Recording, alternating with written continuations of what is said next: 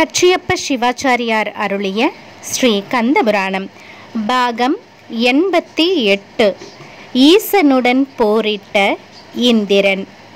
ஒரு சமயம் இந்திரன் எம்பெருமானை தரிசிக்க கைலாயம் சென்றான். அப்போது அவன் மனதிலே தேவர்களுக்கு தாம் அதிபதியாக விளங்குகிறோம் என்ற ஆணவம் மிகுந்திருந்தது.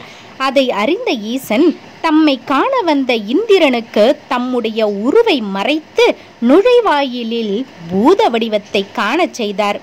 பூத வடிவிலே இறைவனை கண்ட இந்திரன் எம்பெருமானே அவ்வாறு காட்சியளிக்கிறார் என்பதை உணராது யாரோ புதியவன் கைலாயம் வந்திருக்கிறான் என்று எண்ணிவிட்டான்.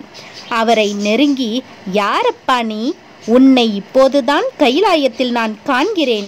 ஈசனை தரிசிக்க இது தக்க சமயம்தானா? என்று கேட்டான். இந்திரனுடைய கேள்விக்கு பதிலொன்றும் கூறாமல் ஈசன் மௌனமாக நின்றிருந்தார். இந்திரனுக்கு அது கோபத்தை உண்டாக்கிவிட்டது.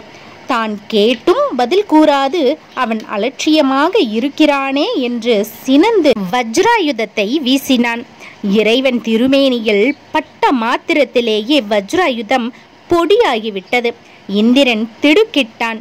ஈசன் தம்முடைய பூத வடிவத்தை மாற்றி அவனுக்கு ருத்ர வடிவத்திலே தரிசனம் தந்தார்.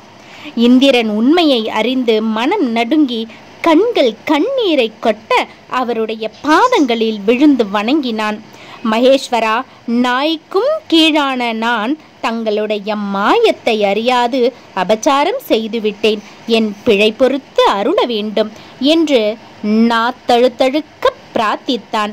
ஈசன் அவனிடம் அன்பு கொண்டு கோபத்தை மேற்கு கடலிலே வீசினார். மெய் சிலிர்க்க இந்திரன் பலவாறாக அவரை போற்றி துதித்து அருள் பெற்று திரும்பினான். இந்திரனுடைய அகந்தையை போக்கவே எம்பெருமான் வேற்றுரு கொண்டார். பாகம் எண்பத்தி ஒன்பதில் கோபத்திலிருந்து உண்டான அசுரனை பற்றி பார்ப்போம். நன்றி வணக்கம்.